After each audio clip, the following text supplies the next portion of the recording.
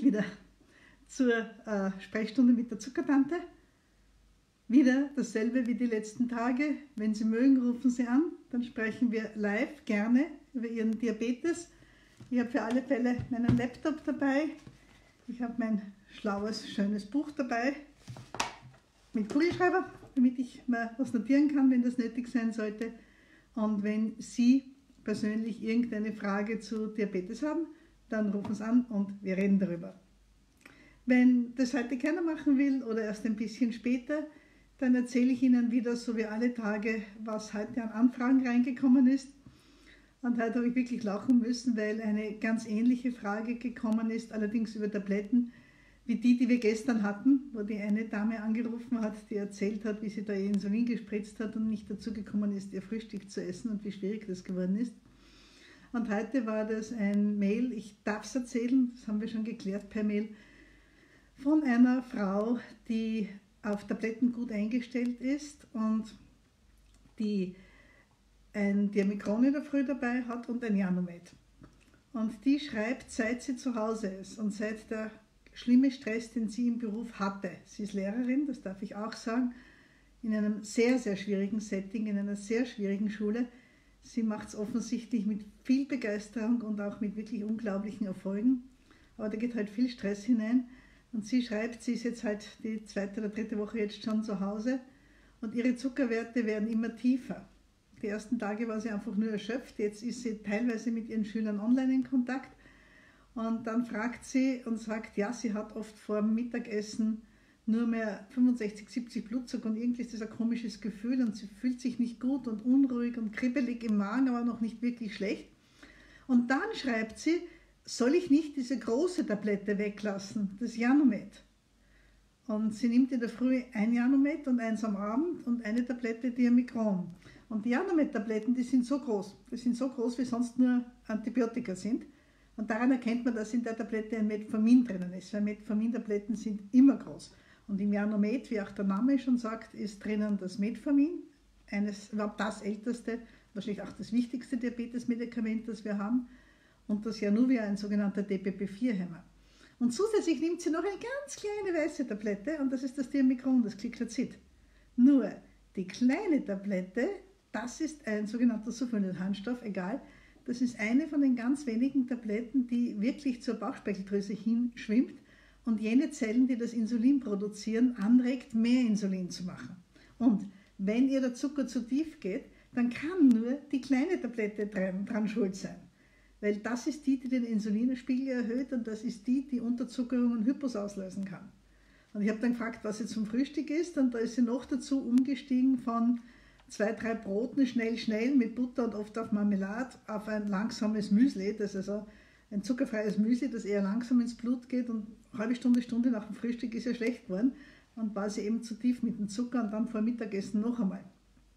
Und ich habe ihr halt dann zurückgeschrieben, sie soll mal versuchen, die kleine Tablette weglassen, ihren Zucker gut kontrollieren.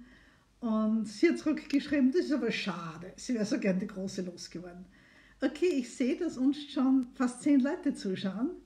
Wenn Sie mit mir reden wollen über Diabetes, rufen Sie an und wir reden über Ihren Diabetes. Die Nummer steht oben, mein Handy ist eingeschaltet. Ich hoffe, die Weiterleitung funktioniert. Mit der Weiterleitung der Nummer, und zwar die Nummer, die Sie anrufen, die verwende ich nur für diese Videotelefonsprechstunden und die wird weitergeleitet auf mein Handy, meistens. Beim ersten Mal hat es überhaupt nicht funktioniert. Ich hoffe, dass es diesmal funktioniert. Wenn jemand mit mir reden will und die Nummer wählt, die da oberhalb des Postings steht, und äh, es funktioniert nicht, Sie kriegen, kommen entweder auf meine Mailbox, das ist mir auch schon passiert, oder Sie kriegen ein komisches Besetzzeichen, dann schreiben Sie mir es unten rein. Ich sehe, was Sie als Kommentar schreiben. Äh, genau, ich sehe auch zwei bekannte Gesichter schon, die zuschauen. Mhm, ich kann sogar, ah, das ist ja geil, ich kann sogar am Computer mitschauen. Das ist ja nicht schlecht kann auch da ein bisschen schauen. Also, wenn jemand anrufen will, dann tun Sie das. Und ich würde mich freuen, mit Ihnen einfach live und spontan über irgendeine Diabetesfrage zu sprechen, die Ihnen jetzt gerade durch den Kopf schießt oder die Sie vielleicht schon ein bisschen länger bedrückt. Okay, ich warte darauf, dass es bimmelt und spreche inzwischen weiter und habe eben dieser Dame sagen müssen, naja, wenn Sie mit dem Zucker zu tief gehen am Vormittag, nach dem Frühstück und dann noch einmal vor Mittagessen und Sie haben aber bei Ihren Medikamenten eine Tablette dabei, die aktiv den Zucker senkt und von der wir wissen, dass sie Hypos auslösen kann, Unterzuckerungen, dann müssen Sie leider diese Tablette reduzieren. Das sind ja nur mehr ganz wenige. Die meisten Medikamente, die heute am Anfang zumindest Typ 2 Diabetikern verschrieben werden, sind fast immer, Betonung liegt auf fast, Tabletten, die keine Unterzuckerungen auslösen können. Nun, wir werden sehen, wie es weitergeht. Es kann sein, dass es ein bisschen radikal war, ihr gleich die ganze Tablette wegzunehmen. Vielleicht ist es dann der Mittelweg das Richtige, dass sie eine halbe nimmt zum Frühstück und nicht eine ganze, aber das werden wir sehen. Und bevor sie jetzt in den nächsten Tagen wieder ihre Unterzuckerungen hat am Vormittag, ist es mir doch viel, viel lieber, wenn sie vielleicht ein paar Tage etwas höhere Werte hat, wir bleiben in Kontakt und dann vielleicht wieder zurückgeht und die halbe Tablette nimmt. Jetzt sind wir schon weit über zehn Leute, leider. Und keiner von euch hat eine Frage und traut sich anrufen. Probieren Sie es noch einmal. Ähm, nehmen Sie sich ein Herz, rufen Sie die Nummer an, die oben steht. Die letzten zwei Tage haben es mehrere Anrufe gegeben. Gestern war eine ganz besondere Geschichte auch dabei, aber eigentlich ist ja jede Geschichte ganz besonders. Und jetzt sind wir schon fast 20. Also ich pack's ja nicht. Alle schauen nur und keiner traut sich und wartet, ob sich ein anderer traut. Na schauen wir, machen wir mal weiter. Was ich an der Geschichte so spannend finde, ist jetzt nicht unbedingt, dass jemand auf ein Diamikron einmal hypernahe wird. Das soll ja vorkommen. Was ich aber schon interessant finde, ist, dass es in der Situation passiert, wo wir eigentlich ja mehr damit rechnen, dass Zuckerwerte raufgehen unter der Belastung, unter dem Stress. In der Zeit, in der wir leben, mit der Sorge wegen Corona, wegen Anstellungen. Gut, als Lehrer braucht man sich keine Sorgen machen um die Stelle, das ist natürlich ganz, ganz viel wert. Trotzdem finde ich es wirklich erstaunlich, wie stark man bei manchen Menschen merkt, wenn der berufliche Stress wegfällt, wie gut das dem Zucker tut.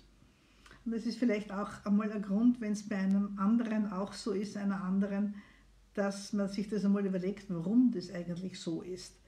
Und warum man nur, wenn man ein paar Tage weg ist von der Arbeit, schon wesentlich schönere Werte hat. Das ist durchaus einmal ein bis zwei Runden Nachdenken wert. Ja, das war das eine E-Mail, das ich heute bekommen habe von dem ich Ihnen berichten wollte. Noch immer ruft keiner an. Ich habe mein Handy in der Hand, Leute. Wenn irgendwer ein Problem hat, eine Frage hat zu Diabetes, es kann auch was ganz weit hergeholtes sein. Wenn ich mich nicht auskenne, sage ich es eh. Das kommt immer wieder vor. Ich habe ja in früheren Zeiten eine, es war meine letzte Station in der Arbeit vor der jetzigen, habe ich eine Ordination gehabt mit allen Kassen als Hausärztin im Süden von Wien mit Schwerpunkt Diabetes. Und ich habe sicher in jeder Ordination mindestens einmal frisch herausgesagt, das weiß ich nicht. Wenn Leute mit Fragen gekommen sind oder mit, mit, mit Anliegen, die ich halt einfach nicht gewusst habe. Das Gebiet der Medizin ist riesengroß und als Hausarzt ist es keine Schande, wenn man irgendwas nicht weiß. Und wenn man dann auch ehrlich dazu sagt, entweder ich gehe nachlesen, ich schaue es mir an, oder ich weiß, wohin ich es weiterschicke. Und auch beim Diabetes gibt es inzwischen so viel zu wissen und gerade beim Typ 2 Diabetes mit den verschiedenen Medikamenten. Also trauen Sie sich ruhig anrufen, trauen Sie sich auch mich herauszufordern. Ich habe überhaupt kein Problem damit, einmal zu sagen, dass ich irgendetwas nicht weiß. Bevor ich da in der Ordination war, in der Kassenordination, für die, die mich noch nicht kennen, habe ich nach meinem Turnus, ich bin Ärztin für Allgemeinmedizin, praktische Ärztin, habe ich begonnen im Krankenhaus Leins damals zu arbeiten. Das heißt ja jetzt nach dem Skandal, bei dem ich auch mitten dabei war, Krankenhaus Hitzing.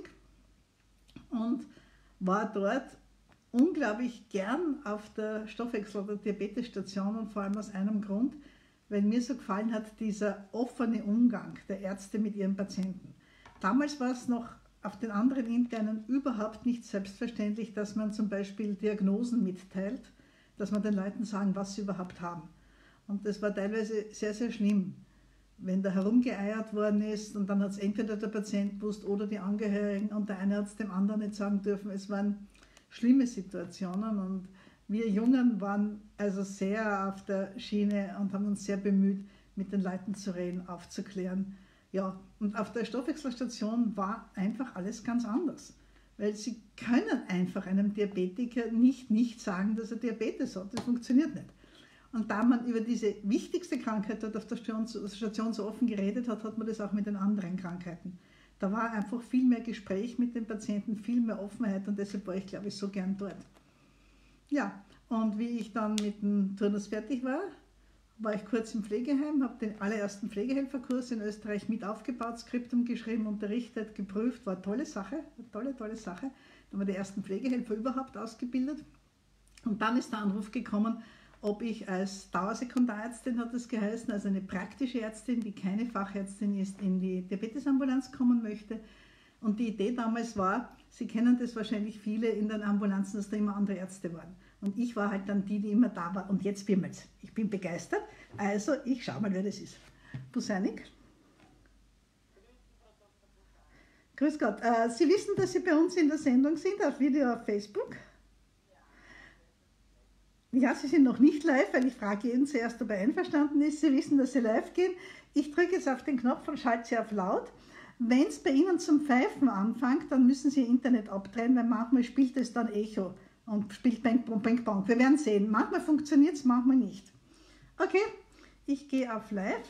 So, ich habe sie. Jetzt kann sie jeder hören. Ja, okay. Bei mir pfeift nicht, es funktioniert. Hervorragend. Äh, Frau, Frau Doktor, aus Ihrer Erfahrung heraus, äh, ich nehme zweimal am Tag Signadi, die Tausender. Ja. Ähm, und habe jetzt äh, seit drei, vier Wochen aber das die nehme ich jetzt schon seit zwei Jahren. 12,5 mit 1000. Wochen, genau. Mhm. Und ich habe immense, immense Verdauungsprobleme mit dem Magen, also Sodbrenner, Schmerzen. Sehen Sie da einen ursächlichen Zusammenhang? Seit drei bis vier Wochen haben Sie das Problem mit dem Magen. Ja, genau. Ich war jetzt schon beim praktischen Arzt und jetzt bin ich... Und der hat Ihnen ein Pantoprazol aufgeschrieben? Genau, ein Pantoprazol und jetzt noch was dazu, weil dieses Todbrennen überhaupt nicht weggeht. Mhm. Und jetzt bin ich schon am überlegen gewesen, ob das von der Medikation kommen kann. Ich habe aber jetzt nichts geändert bei den Zuckertabletten. Egal was ich ist, egal ob ich Haferflocken, Diät mache oder nicht. Okay. Wie lange haben Sie... Wie lange haben Sie denn das Sinjadi schon genommen? Zwei Jahre ungefähr nicht mehr. Zwei Jahre. Und da war überhaupt nie ein Problem, auch am Anfang nicht. Am Anfang war natürlich diese Pilze da, also im Intimbereich, und das ist auch schön weggegangen. Das war eine Einschleifzeit von drei Wochen ungefähr und das hat sich eingependelt. Die Tabletten sind, die wirken gut auf meinen Blutzuckerspiegel und ich finde auch, dass weniger Nebenwirkungen hat als nur Metformin, was ich vorher gehabt habe. Das ist lustig, weil es ist ja Metformin drinnen bei Ihnen. Äh, ja, ja, ist drinnen, aber ja, Einbildung ist auch eine Bildung, aber. Nein, nein, das gibt es immer wieder. Ja. Es gibt es auch, auch wenn man nur Metformin nimmt. Ich verstehe es auch nicht, aber es ist manchmal so, dass man das Metformin von der einen Firma verträgt und von der anderen nicht. Und wir sagen immer, ja. das ist mehr oder weniger Einbildung, aber es ist so häufig. Und ich meine, wenn es für sie ist, so ist, dann ist es für sie so. Das, ich meine, ich spüre ihren Körper nicht und wenn ihr Körper das so sagt, dann ist das bei ihnen ja. so. Punkt aus. Ja. ja, die Geschichte mit dem Sodbrennen. Also zuerst einmal für alle, die zuschauen, äh, die Anruferin nimmt Syniadi, sonst nehmen sie uns auch noch was für einen Zucker? Uh, ja, die Trajenta. Ein Trajenta. Mhm. Trajenta 5 Milliarden. Ein Trajenta 5, das ist eine tolle, moderne Kombination. Das heißt, sie hat eigentlich drei orale Antidiabetika, also drei verschiedene ja. Tabletten, aber Ihr kann zum Beispiel das nicht passieren, was der Dame aus dem vorigen Beispiel passiert ist, weil sie kein Diamikron oder was ähnliches dabei hat, was aktiv den Zucker senkt und Unterzuckerungen auslöst. So, genau. jetzt wäre natürlich eine interessante Frage, warum glauben Sie dann, dass es gerade das Seniade ist und nicht zum Beispiel das Trajenta? Hm. Weiß es nicht. Ja. Ich okay. meine nur aus Ihrer Erfahrung heraus, äh, ob es so vermehrt so Magen-Darm-Probleme Nein, macht es nicht. Macht es nicht, aber natürlich stehen, na, bleiben bleib noch kurz dran, so einfach ist es auch wieder nicht. Natürlich stehen, Sie werden es gelesen haben, die Magen-Darm-Probleme im Beipackzettel. Weil wenn man so Brennen ja, kriegt, dann geht man als erstes Beipackzettel lesen. Ja. Es steht beim Trajenta ja. auch drin, aber für Dezenter, soweit ich weiß. Nehmen Sie noch andere Tabletten? Mm, ja, Blutdruck und Cholesterin natürlich. Und da ist auch alles gleich geblieben in der letzten Zeit? Da ist verändert, nicht einmal die Marken ist verändert. Nein. Ah, okay. Nein, also ja. der Anbieter ist der gleiche. Ja. Und ja. das ist, ja, wie gesagt, ich, ich, vielleicht kann es dann auch noch eine Leistenhernie sein. Ich habe ja schon gar einen Termin gehabt beim Gastroenterologen, nur das abgesagt worden durch die Corona-Aktion. Halt. Sie haben eine Zwerchfellhernie wahrscheinlich. Wahrscheinlich wird er ja, Zwerchfellhernie sein, weil dass es so spontan kommt, aber. Und das haben Sie noch nie vorher gehabt? Nein, so stark noch nie. So stark noch nie? Okay. Nein, so stark noch nie. So Sodbrennen war schon immer wieder ein Thema und da habe ich dann irgendwie immer den Verdacht gehabt, dass es eben von der Medikation kommen könnte. Und nein, aber ich habe jetzt einen Blutbefund gekriegt noch Ja. vorher und da war der Lipasewert eben bei 62. Ne? Mhm. Und da haben wir gedacht, hoffentlich hat die Bauchspeicheldrüsen da nicht erzielt. Ja, kontrollieren Sie das dann noch einmal? Ja, ich gehe jetzt, wie gesagt, am Dienstag zum Ultraschall von Galle und, Ja. und Leber und Ja, das haben wir schon gescheit. Bauchspeicheldrüse, sofern man was sieht. Bauchspeicheldrüse sieht man nur, wenn sie sehr, sehr schlank sind, gescheit. Genau, sehr, sehr schlank. Nein, Okay, dann werden wir wahrscheinlich weniger. Normal, Na, immerhin. Normalgewicht. Normalgewichtiger als als Typ 2 Diabetikerin ist ja auch schon was. Okay, ich möchte jetzt einmal kurz auf das Signali noch eingehen, weil mit der Frage sind Sie Ja. eingestiegen und dann reden wir noch über, die, über Ja. das Sodbrennen, weil daher einfach jetzt wirklich schon viele zuschauen, wie ich gerade sehe. Also, Signali, das Medikament, um das es hier geht, ist ein Kombipräparat. Kombipräparate erkennt man immer daran, dass zwei Ziffern beim Namen stehen. Da ist meistens eine Ziffer, dann ein Schrägstrich, dann die zweite Ziffer. Und die zweite Ziffer ist nicht immer, aber mehr als zwei Drittel der Fall, entweder 850 oder 1000. Und dann ist das ein Metformin. Das sind große Tabletten und da ist der eine Anteil das Metformin, das ja der Standard und das erste Medikament überhaupt ist, das jeder Typ 2 Diabetiker bekommen sollte als erstes, wenn es keine Gegenanzeigen gibt, wenn es keine Gründe gibt, dass genau der eine, die eine es nicht bekommen soll. Da muss man halt ein bisschen schauen. Aber an sich ist es immer der Standard zum Anfangen. Und im Synyadi ist noch ein, da ruft noch wer an, aber wir machen es erst fertig. Äh, Im Synyadi ist noch ein zweites Medikament drinnen, und zwar das Jardians, das Empagliflozin. Das ist das letzte, das auf den Markt gekommen oder eines der letzten, die auf den Markt gekommen sind, aber jetzt auch schon ein paar Jahre, äh, Jahre da ist. Und das ist was unheimlich Spannendes. Das ist ein Medikament, das bewirkt, dass, wenn der Zucker etwas höher wird, dass vermehrt mit dem Haaren Zucker ausgeschieden wird. Das ist jetzt nicht so rasend sensationell, denkt man sich einmal. Aber äh, das Lustige an dem oder das Tolle an dem Medikament ist, erstens, dass es so gut wie nicht interagiert mit anderen Medikamenten, dass es selten Nebenwirkungen macht, über die reden wir dann noch gleich, und dass es aber vor allem einen enormen positiven, schützenden Einfluss hat auf das Herz-Kreislauf-System. Und dann ganz besonders gut wirkt bei Herzschwäche. Und diese Wirkung ist so stark, dass die Internisten, die Kardiologen, dann auch geschrien haben und versucht haben, es durchzusetzen, und es sind auch Studien gemacht worden, dass die Kardiologen es jetzt auch Menschen geben dürfen mit Herzschwäche, mit Herzinsuffizienz, Menschen, die gar keinen Diabetes haben. Also das ist einmal eine Neben- Nebenwirkung, die nimmt man mit Handkuss. Und das Signali haben Menschen, also geht Herzschwäche langsamer weiter, vielleicht sogar ein bisschen zurück.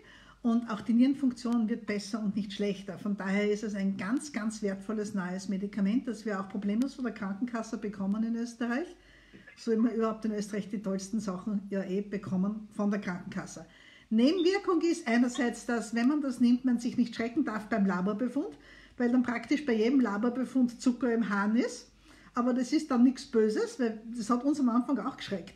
Weil ich bin damit aufgewachsen, Zucker im Hahn ist böse, böse, böse, weil der zeigt, dass der Mensch in der Zeit, bevor er auf die Toilette gegangen ist, mit dem Blutzucker mindestens über 180, 200 war. Wenn ich aber die Schwelle, wo der Zucker ausgeschieden wird, heruntersetze, dann ist es klar, dass auch schon bei 140, 150 Zucker im Hahn erscheint. Und insofern braucht man sich da nicht schrecken.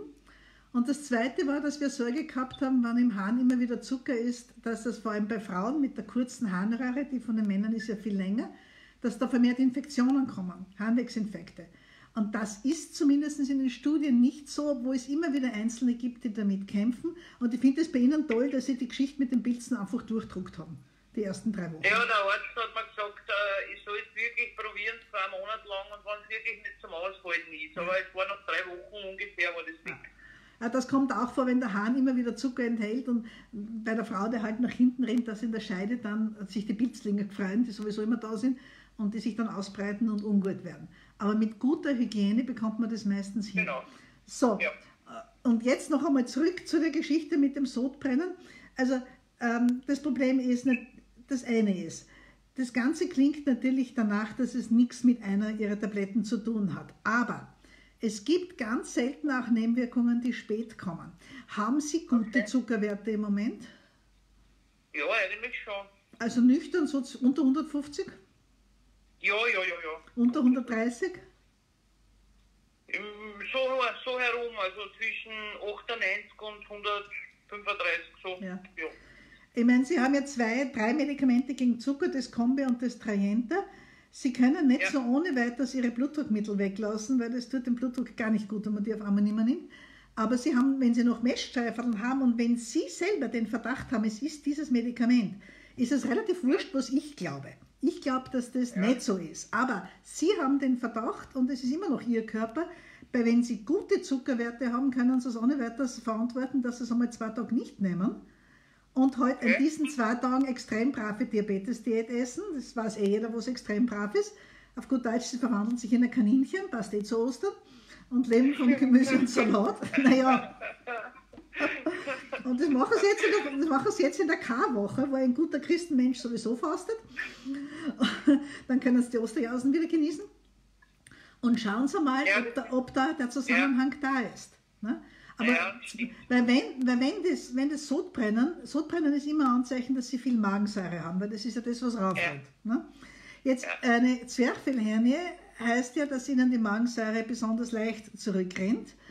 Ja. Und äh, wenn diese vermehrte Magensäure wirklich von einem Medikament kommen sollte, dann ist es, merken Sie das am zweiten Tag spätestens.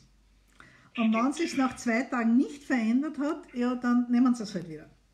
Wie viel nehmen Sie Okay. denn? Und dann würde das gleiche mit, also würdest zuerst einmal das äh, Synjadi absetzen, Ja, dann nach zwei Tagen wieder nehmen, wenn sich nichts geändert hat, dann ein paar Tage warten, Ja. dann, dann einmal die Osterfeiertage und dann würde ich es mit dem Trajenta auch noch probieren. okay. Ja?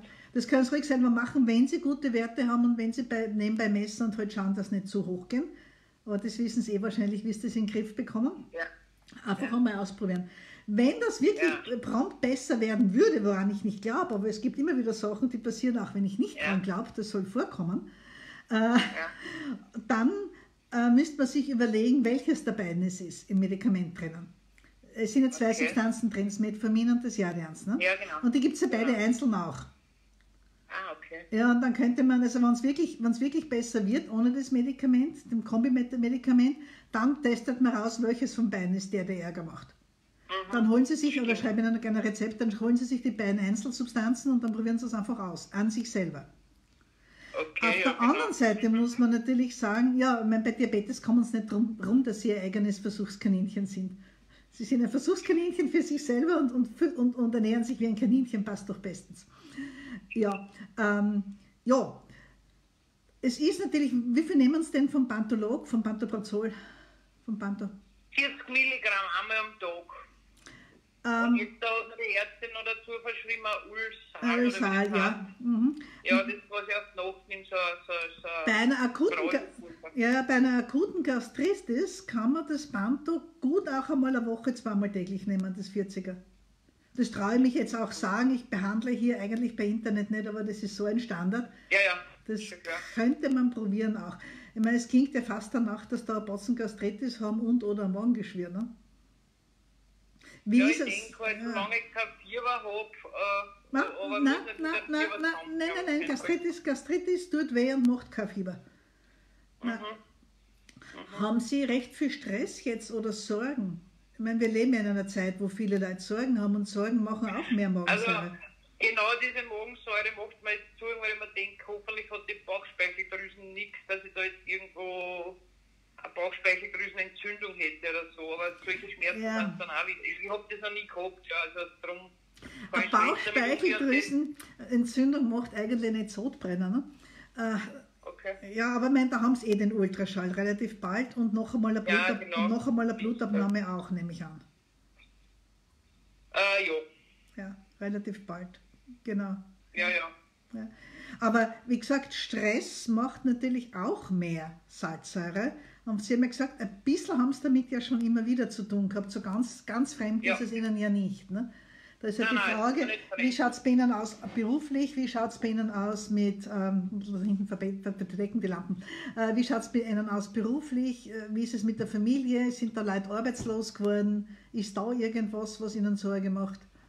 Das müssen Sie jetzt nicht beantworten, Nein, nur ich zum Nachdenken. eigentlich, bin eigentlich weder in Kurzarbeit noch sonst was, sondern Systemerhalter, aber ich darf daheim arbeiten. Ich darf meine 40 Stunden daheim abarbeiten, was mich eigentlich entschleunigen sollte. Aber es ist so eine massive Lebensveränderung, sowas zu machen. Irgendwie hört sich jetzt wirklich Ja, blöd an. nein, es hört sich gar nicht blöd an. ist einfach, Ja, es ist einfach anders. Ja. Ja. Es ist ja, rundherum natürlich eine Menge, was uns allen wahrscheinlich Sorgen macht, was Ja. Schule betrifft. ja. Ja. Und äh, tun Sie es jetzt nicht, tun Sie das nicht kleinreden. Äh, der Übergang ins Homeoffice, vor allem wenn es einem so aufs Auge gedruckt wird von einem Tag am anderen, das ist nicht einfach. Das wissen wir alle. Also ich arbeite jetzt ja auch, ich habe noch meine Ordination und einen ähm, Job bei der Caritas, wo ich Montag ganztags beschäftigt bin und Dienstag auch. Aber den Rest der Woche arbeite ich zum Großteil zu Hause. Und es ist eine Riesenleistung, weil es ist nicht einfach, sich die Arbeitsstunden zu legen. Und vor allem äh, tendiert man dann dazu, dass man acht Stunden auf Hochdruck arbeitet, was man im Büro nämlich in Wirklichkeit nie tut. Ja, da gibt es eine Pause, Ja, da wobei- redet man mal mit wem. Ja, es ist nicht so leicht. Na, wobei ich sagen muss, meine Chefin reagiert da wahnsinnig gut. Sie hat uns jetzt einen Blocker eingestellt von einer Stunde jeden Tag und hat gesagt, sie besteht darauf, dass wir in der Stunde nicht arbeiten. Ja, das, Weil da macht merkt, sie das dass wir gut. durcharbeiten. Ja. Das will sie nicht. Ja, und das ist auch etwas ganz generell, also wir sind weg vom Diabetes-Thema, aber es macht nichts. Das ist für alle wichtig, die in Heimarbeit gehen, weil sie kennen das wahrscheinlich. Sie setzen sich zum Computer, fangen hochmotiviert an, dann lasst halt die Motivation nach und normalerweise steht man dann auf im Büro und geht zum Drucker, zum Nachbarn, zu irgendeiner Ablage, was weiß ich, redet ein paar Worte und kein Mensch arbeitet im Büro, außer die, die wirklich unter Druck sind, jetzt weil böse E-Mails kriegen. Aber die meisten arbeiten nicht auf Volldampf die acht Stunden durch, das ist auch nicht wirklich menschlich. Und wenn man im Homeoffice zwei bis dreimal am Tag 90 Minuten in voller Konzentration schafft, dann ist man schon wahnsinnig gut. Und Ja. das, schaffen, das schaffen nicht viele. Und vor allem, die meisten fangen dann an, dass es doch ein bisschen langsamer wird, dann schaut man dazwischen ein paar private E-Mails, dann geht man auf Facebook äh, und die Zeit verfliegt und nachher ist irgendwie nichts weitergegangen. Und das macht, Wobei das Homeoffice für die Ernährung ja super ist. weil es- wenn man da kochen habe kann. ich die Ruhe, da habe ich das, die Lebensmittel daheim und da ist ja eigentlich fast nur gute Sachen. Ja, das ist einfach ein großer Vorteil. Vielleicht haben sie das auch ein bisschen radikal umgestellt, das habe ich auch schon gehört, dass das durchaus... Ja. Das kann auch Ärger machen. Sagt, Das kann, das kann auch Ärger machen, ja.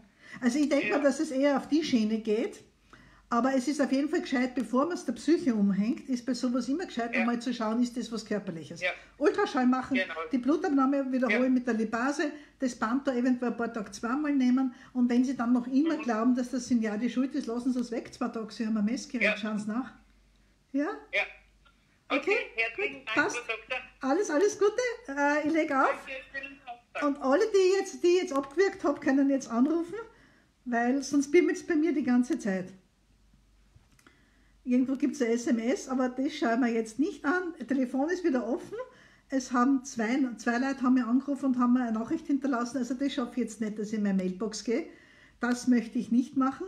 Ich weiß, dass ich jetzt zwei Ge Gespräche zwischendurch abgewirkt habe, weil äh, ich hätte es vielleicht in der, in der Leitung lassen sollen. Das mache ich das nächste Mal. Ich bin noch kein Profi mit diesem ganzen Zeug, mit dem Telefon-Office. Äh, ja, es ist schon halb sechs. Äh, da schreiben ein paar. Mir geht es damit auch nicht gut. Bin von einem Tag auf den anderen dazu gezwungen worden, zu Hause zu bleiben. Mit einer DIN, mehr kann ich nicht lesen, kann ich auf mehr Anzeigen klicken oder passieren jetzt böse Dinge? Mit einer Dienstfreistellung. Mhm.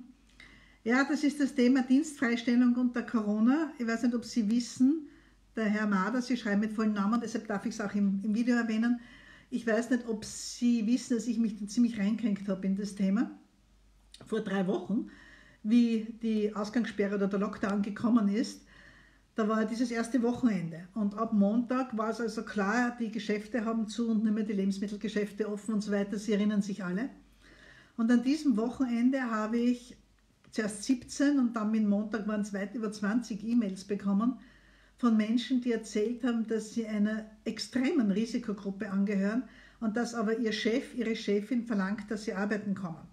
Und das waren Menschen natürlich mit Diabetes, weil sie mir geschrieben haben, Aber da waren Leute dabei mit schweren Lungenkrankheiten, mit einer COPD Stadium 3, die so mehrmals am Tag ihr Spray gebraucht haben, wobei bei Corona ja die COPD gefährlicher ist als Asthma. Ein gut eingestelltes Asthma ist ganz was anderes als ein COPD Stadium 3. Da waren Leute dabei, der eine, den wir nicht vergessen, ein Bauarbeiter, der so auf einer Art Hebebühne arbeitet, der hat einmal beschrieben, ein ganz kleiner Platz mit dem Glander halt rundherum, immer mit einem zweiten, weil es irgendeine Arbeit war, die man eben nur zu zweit machen kann und die sind in Körperkontakt. Und die halbe Mannschaft hat geküsst und genießt. Und er hat aber zwei Herzinfarkte und ich glaube einen Dreifach-Bypass hinter sich gehabt und eine PAVK, also eine Krankheit der, in der Beingefäße.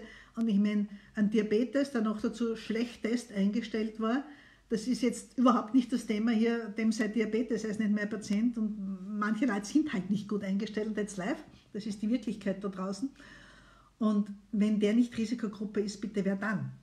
Und der wurde nicht freigestellt. Und da waren ein paar so ganz, ganz ähnliche Geschichten oder auch Leute vom Bau, die irgendwo auswärts gearbeitet haben, die gesagt haben, das mit den zwei Meter Abstand, das ist ja wohl ein schlechter Scherz. Wir fahren mit dem Mannschaftsbus hinaus. Oder wir haben einen Container, wo wir uns reinhocken müssen zum Mittagessen, was heißt zwei Meter Abstand, Leute. Vergesst es einfach. Und eben auch Leute mit teilweise ganz, ganz ernsthaften Vorerkrankungen.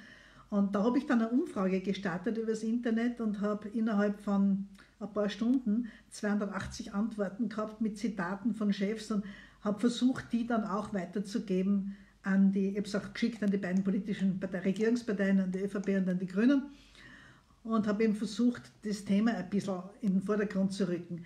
Ich habe dann auch sehr viel Kritik geerntet, weil es auch ganz, ganz viele Diabetiker gibt, vor allem aus der Selbsthilfeszene. Und die, die einfach sagen, ich will unbedingt arbeiten und ich lasse mir das sicher nicht verbieten. Und gerade von den Typ 1 die oft als Kinder schon sehr viel mit dem Spitalsystem zu tun gehabt haben und auch die Faszination von der Medizin erlebt haben, sind recht viele Krankenschwestern auch auf Intensivstationen und Ärzte. Und die lassen sich sicher ihren Beruf nicht wegnehmen. Also das, was jetzt geplant ist, dass es letzten Endes der Hausarzt mit dem Patienten entscheidet, aber dann auch doch eine Freistellung hoffentlich ausgesprochen werden darf, finde ich eigentlich ist eine sehr, sehr kluge Entscheidung. So, mein Telefon ist offen. Zwei Anrufe zwischendurch habe ich leider nicht in der Leitung lassen, sondern bösartig rausgehaut, weil ich auf den roten Knopf gedrückt habe. Das heißt nicht, dass ich mit Ihnen nicht reden will. Das heißt nur, dass ich sie rausgehaut habe. Also wenn einer von den beiden noch jetzt anrufen mag, dann gerne. Sonst höre ich so circa in fünf Minuten auf. Also Sie haben fünf Minuten noch Zeit, dass Sie, äh, dass Sie sich melden und dass wir noch schnell ein Diabetes-Thema ansprechen. Da schreibt eine, wir haben im Homeoffice Stress hoch 10 ohne Pause.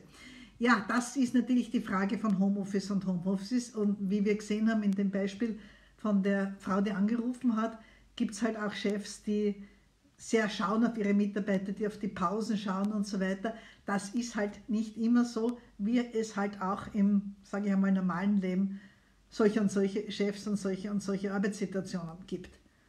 Aber das ist generell in der Krise, ich habe mit sehr vielen Diabetikern zu tun und das ist was, was ich heute eh noch einmal anbringen wollte.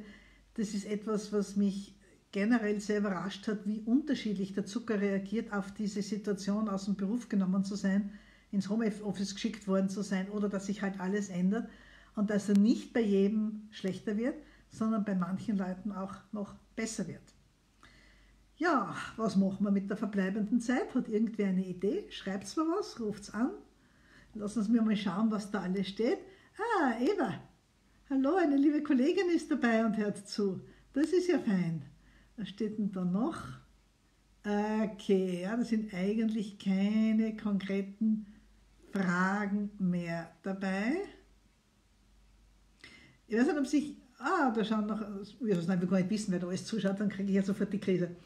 Noch ein Nachtrag zu der Patientin gestern und vorgestern, die hat ja zweimal angerufen, die so Probleme gehabt hat mit ihrem Mischinsulin.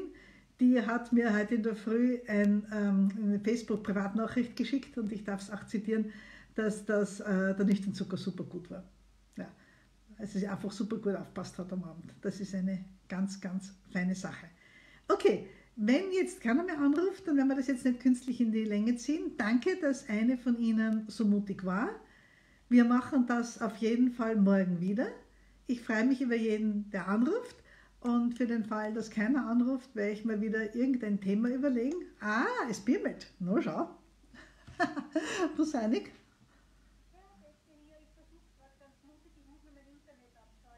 Tun Sie das? Sie tut, sie tut noch ihr Internet abschalten? Ja? Ja, ja. Ah ja, mit zwei Handys, das ist schwierig, ja? Nicht das Falsche abschalten. Okay, okay, stopp. Stopp, ich, ich, ich nehme Sie auf Raumlautsprecher, ab jetzt können alle zuhören, gut? Okay. Ich versuche mutig zu sein. Sie sind mutig. Ich bin große Rednerin. Erzählen Sie, was ist das Ähm, Problem? Bitte? Nein, ich wollte einfach nur eine Beobachtung schildern wegen dieser Metformin-Geschichte. Okay. Also ich habe vor einem Jahr im April 2019 eben zweimal 850 Metformin genommen ähm, und habe das eben nicht vertragen. Also ich habe Heißhungerattacken gekriegt, Durchfall, äh, Verstopfung, alles gleichzeitig. Ja. Und ähm, dann habe ich ja lang nichts genommen, habe sehr hohe Werte gehabt und jetzt habe ich eigentlich die zweite Woche, dritte Woche, also zwei Wochen jetzt, zwei, äh, nein, äh, zwei Wochen einmal 500 Metformin und jetzt habe ich die erste Woche mit zweimal 500 Jawohl. Metformin. Und? Ja. Äh, naja, es geht langsam runter. Na, wie geht's Also, Ihnen mit dem Bauch? Wie geht's Ihnen mit den Nebenwirkungen? Gut, gar nichts. Ja. Und das ist das Tolle. Also ich wollte sagen, ich fühle mich gemütlich und das ist ein herrliches Gefühl. Ich meine, ähm, es ist so, dass ich vom Hunger her gedämpft bin. Also ich Schön. mag eigentlich nicht großartig was essen. Schön. Passt Ich das fühle für Sie? gut. Passt das für Sie? Passt das für ja, Sie? ist Ist okay, ist, ist ist für Sie okay. angenehm? Okay. Ja. Ja, ist okay. Das Einzige, was ich gehabt habe, war ein bisschen mehr Magensäure. Also das habe ich gehabt. Also irgendwie ein bisschen, aber das kann auch sein, weil ich durch den Stress, ich war das mit dem Stress hoch 10, äh, irgendwie durcheinander gegessen habe oder Konserven gegessen habe, so Bohnengulasch oder irgend sowas. Ja. Ja. Aber, ich weiß, war schlimm. Aber ich habe jetzt versucht, äh, praktisch wirklich mich darauf zu konzentrieren, dass ich wirklich koche, dass ich regelmäßig esse und dass ich ab 17 Uhr nichts mehr esse. Ja, das ist natürlich toll. Ja. Und ich muss sagen, das Tolle ist, also ich habe mich schrecklich aufgeregt im Homeoffice und die Werte waren grauslich, ja. Und ich habe seit einer und seit ein paar Tagen beschlossen, mich nicht mehr aufzuregen, egal was ist. Und die Werte sind jetzt konstant. Ja. Ähm, also besser. sie waren 270 oder so oder 250 und es sind jetzt schon ein paar Tage 236 nüchtern. Hm. Und äh, ich meine, das ist jetzt noch nicht wahnsinnig Nein, großartig. es ist nicht wahnsinnig schon. großartig. Bitte? Es ist nicht wahnsinnig großartig, nein, nicht wirklich. Also da werden Sie auf Dauer aber- werden Sie da was dazu brauchen. Bitte? Ja, also das klingt natürlich alles wirklich gut, nur bitte 230 nüchtern ist noch immer nicht toll, aber es ist schon einmal besser. Und ein Prinzip, Eben. ein Prinzip ist ja, solange es besser wird, können Sie bei der Medikation bleiben. Beim Metformin ist es ja so, dass man prinzipiell mit maximal 500 Milligramm anfängt und nicht mit mehr. Auf gar keinen Fall mit 2x850. Hm? Ja, das vertragt man einfach am Anfang nicht. Äh, Die Metforminstory, die ist ja eine relativ lange Story, nur ganz jetzt kurz, vielleicht haben wir mal, vielleicht hat noch einmal jemand ein Problem mit der Metformin, dann können wir da mal heute Zeit nicht mehr, dann können wir es einmal in epischer Breite besprechen. Aber eine Wirkweise von Metformin ist es ja, dass es die Aufnahme der Kohlenhydrate aus dem Darm ins Blut verzögert und dann tut sich die Bauchspeicheldrüse leichter, wenn die Arbeit kleinweiß daherkommt. Das ist die positive Sichtweise. Das klingt ja ganz nett ne? und vor allem harmlos. Andersrum gesehen, was macht ein Kohlenhydrat, das im feuchten, warmen Darm liegen bleibt, länger? Was macht der Zucker, der es warm und feucht hat? Na, der gärt. Was soll er sonst tun? Ja? Also die, das, das kann jede Menge Beschwerden machen. Und Metformin ist ein Medikament, das indirekt wirkt, auf eine sehr elegante Weise. Das Beste am Metformin ist ja das, was es nicht macht. Das Metformin geht nicht zur Bauchspeicheldrüse und treibt sie nicht an, mehr, Zucker, äh, mehr Insulin zu machen. Mehr Zucker, ich bin auch schon. Bauchspeicheldrüse macht bitte Insulin, nicht Zucker. Gell? Nichts dazu, Zuckertante glauben. Also, das war Versprecher. Also, Metformin verzögert die Aufnahme der Kohlenhydrate vom Darm ins Blut. Es geht nicht zur Bauchspeicheldrüse, es macht nicht mehr Insulin und ein Hypo kann man nur kriegen, wenn man zu viel Insulin hat. Also kann Metformin kein Hypo machen. Und die Hauptwirkung von Metformin ist, es schwimmt zur Leber und bremst dort die Zuckerproduktion. Weil die Leber ist ja bestrebt, aus allem und jedem Speicherzucker aufzubauen. Die hat ja 100, 150 Gramm Zucker gebunkert die ganze Zeit, die sie ins Blut fließen lässt, wenn wir mal ein paar Stunden nichts essen. Das überlegt sich ja kaum wer. Es hat niemand null Zucker im Blut, aber der Körper braucht ja die ganze Zeit was. Und man kann ohne weiteres am Tag nichts essen. Wo kommen denn diese 80 bis 100 Zucker her, die er gesunder hat? Das ist lauter Zucker von der Leber, der ins Blut rinnt. Und das Metformin geht zur Leber und sagt dir, liebe Leber, du brauchst nicht so viel aufbauen, wir haben eh genug. Und das ist eine, dadurch äh, ringt dann im Endeffekt weniger ins Blut und die Bauchspeicheldrüse tut sich leichter. Und das, die Arbeit kommt kleinweise daher. Das sind die Riesenvorteile von Metformin, da gibt es noch ein paar. Aber das Problem ist halt, dass der Darm sich daran gewöhnen muss. Und dass doch über 10% der Leute am Anfang ernsthafte Beschwerden haben. Und deshalb gibt man immer eine 500er oder halt meinetwegen eine halbe Tausender zum Anfangen, einmal täglich. Es gibt natürlich Kollegen und Ärzte, die sagen, Jesus, nein, die ist so hoch mit Zucker, da kann ich nicht mit einmal 500 anfangen, der muss ich Genau, gleich zweimal hat er 1000 mir geben. Ja, aber das Genau ist Quatsch. Weil wenn, Ja, habe ich ihm auch gesagt, aber Ja. er hat mir nicht geglaubt. äh, weil wenn, weil wenn der Zucker so hoch ist wie bei Ihnen, dass man ja eigentlich mit zwei Medikamenten anfangen muss, das Vorschrift sagt ja bei HbA1c über 9 und das müssen Sie haben mit den Werten, äh, muss man mit Damals zwei... Wie viel? War er damals, im April. Aber jetzt nicht mehr. Na, jetzt ist er. Na, Dazwischen war er zehn. Also bei, bei HbA1c über 9 beginnt man prinzipiell immer mit zwei Medikamenten. Gleich am Anfang. Und mehr, mehr Metformin bringt nichts. Da wäre es gescheiter gewesen, von Anfang an was Zweites dazu zu tun. Aber wahrscheinlich wären Sie da auf die Barrikaden gestiegen. Äh, egal. Bitte, ich habe das letzte Mal nicht gehört. Man, man fängt da normalerweise gleich mit zwei Medikamenten an, also mit einem zweiten dazu. Und das Metformin wird langsam aufdosiert, wenn man so hoch ist. Und normalerweise fängt man mit Metformin an, 500 Milligramm einmal täglich. Ich gebe es immer zum Frühstück, aus der Überlegung heraus, dass die meisten Menschen am Vormittag ziemlich aktiv sind. Da tut man arbeiten, da tut man einkaufen gehen, da tut man Haushalt machen, was auch immer, da tun alle was. Und ich denke mir immer, manche geben es mir auch vor dem Abendessen das erste, aber ich denke mir immer, am Vormittag sind wir alle in Action.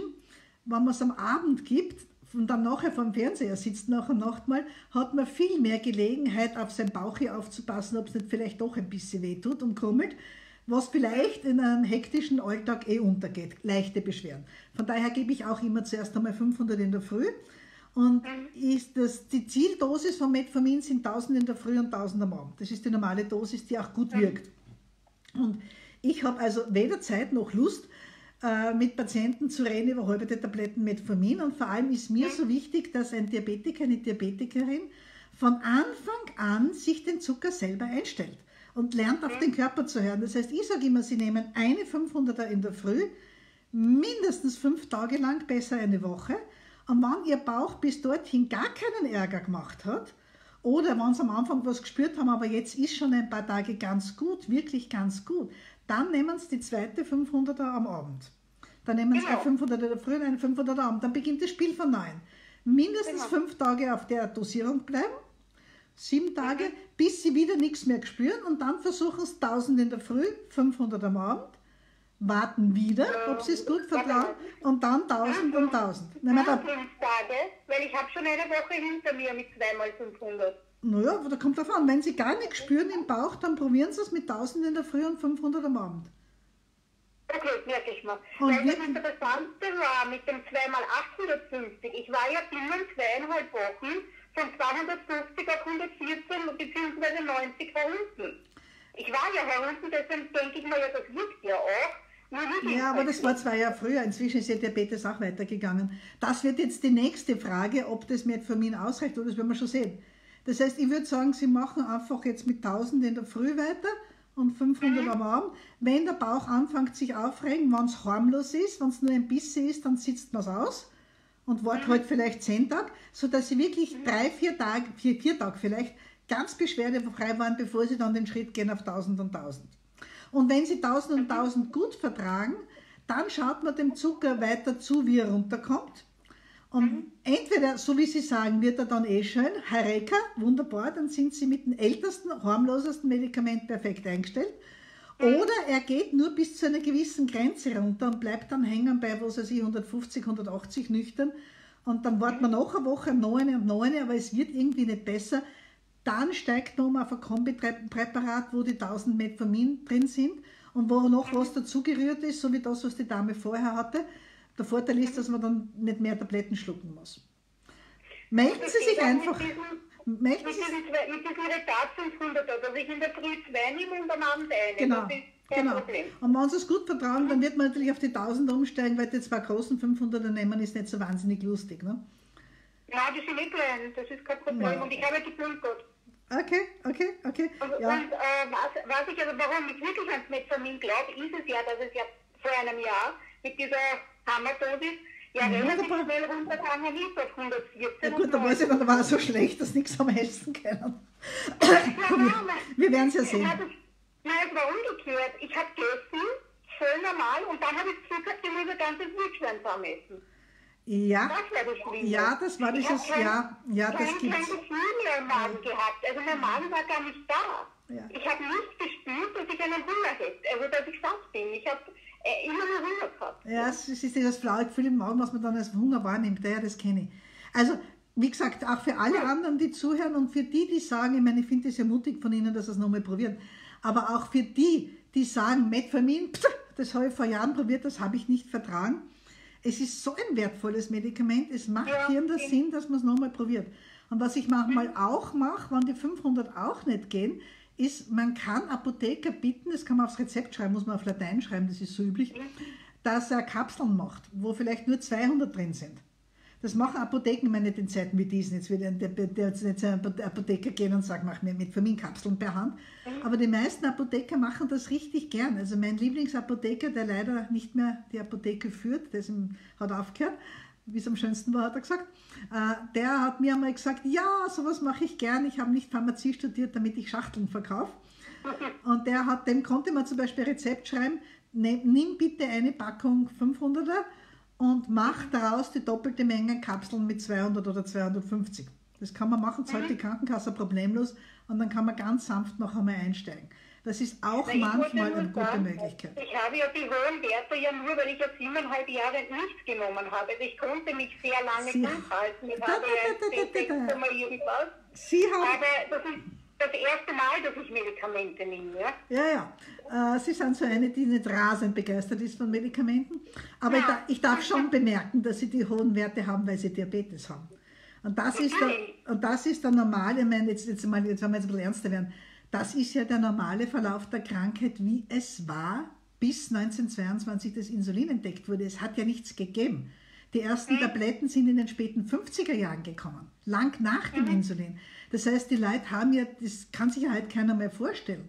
Die Leute haben ja 200, 300, 400 nüchtern auf, aushalten müssen. Mit der Stressgefühl, das damit kommt, mit der Depression, mhm. mit der Müdigkeit, mit der Schwäche, mit dem Riesenrisiko natürlich, dass sich die Gefäße verkleben. So lang mhm. ist es noch nicht her, dass wir es behandeln können. Ja, aber mein, mein Vater hat 1985 äh, Blutzucker gekriegt mit 350. Ja. Ich weiß aber nicht, welche Tabletten er gekriegt hat, aber er ist letztendlich dann ganz schlimm an Arterienverkalkung verstorben.